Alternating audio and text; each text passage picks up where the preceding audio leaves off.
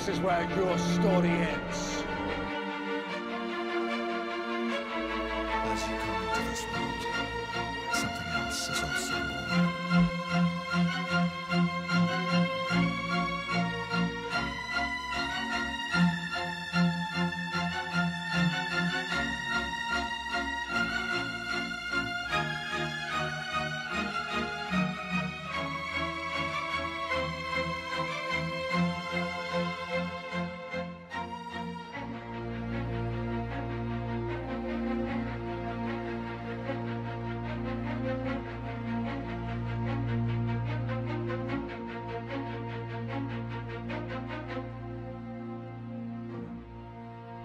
Must not watch this.